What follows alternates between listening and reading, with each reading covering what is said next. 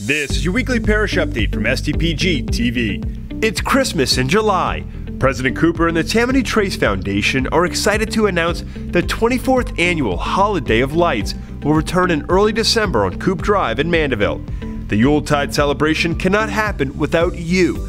Get involved and be a part of the celebration by signing up at stpgov.org slash holiday of lights. Our hard-working public works teams continue to enhance our parish's drainage systems. This week, our marsh buggy was deployed along LA 59 in Mandeville to remove overgrown foliage and debris from the area.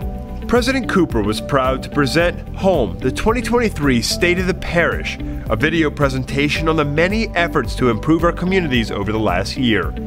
President Cooper said by investing in infrastructure, planning for the future, and stimulating our economy, we will stop at nothing to preserve our quality of life. Check out our social media pages or our YouTube channel to watch the full video. DOTD will have temporary partial closures next week near US 190 and LA 437 in Covington as part of the Collins Boulevard expansion. The closures will take place from 8 p.m. to 6 a.m.